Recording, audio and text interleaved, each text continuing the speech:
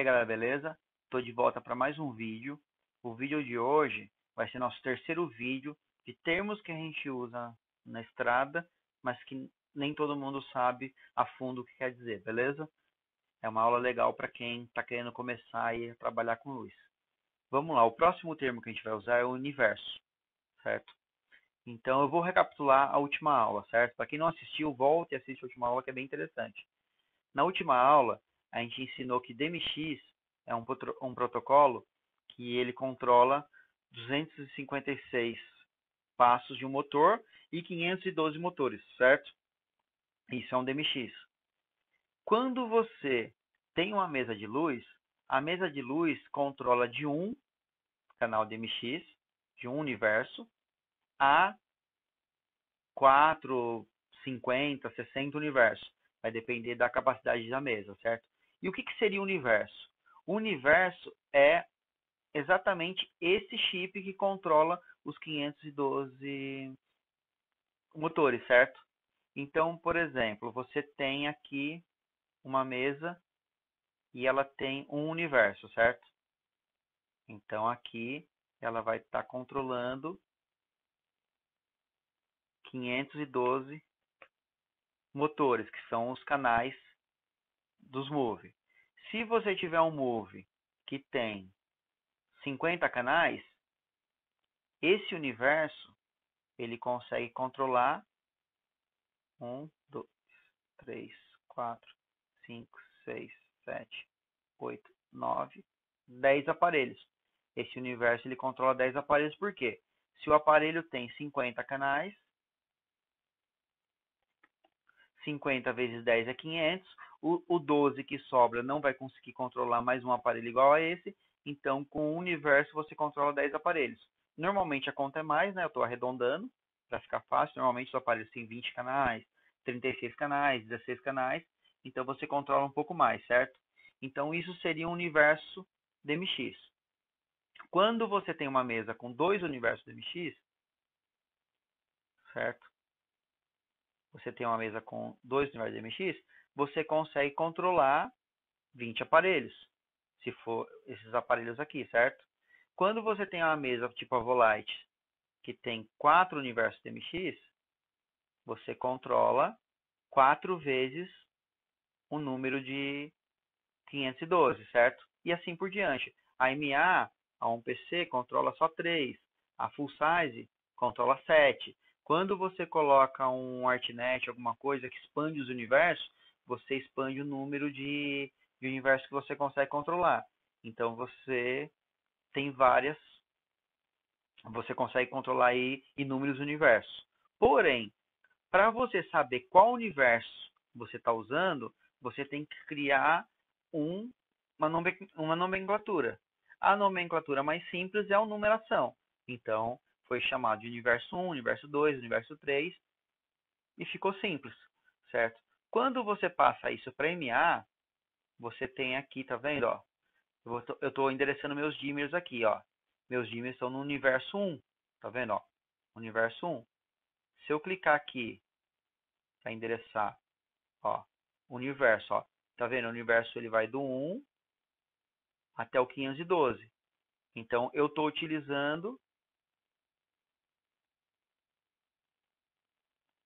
esses o começo até o 12, tá vendo?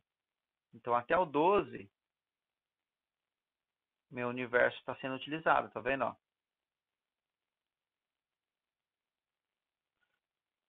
Do 13 para frente eu tô, eu, eu tô livre. Se eu quiser pegar esse aparelho e colocar no 41, ó, ele está livre.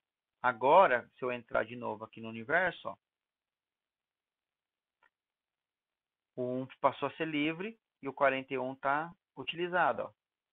Cliquei no 59, mudou agora para 59.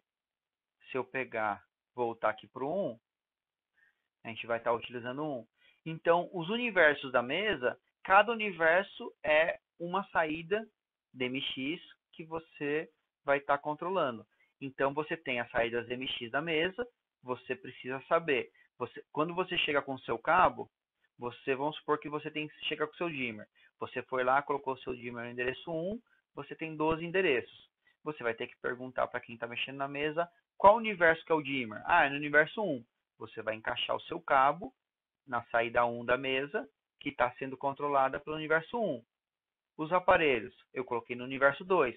Então, você vai colocar os seus aparelhos, o, seu, o cabo que vem dos seus aparelhos, no universo 2. Tanto é, se você pegar e passar um cabo daqui para cá e ligar todos no universo 1, não vai funcionar porque a mesa está mandando sinal dos aparelhos pelo universo 2. Então, o universo dentro do mundo da luz é a quantidade eh, de, de chips de DMX que sua mesa tem.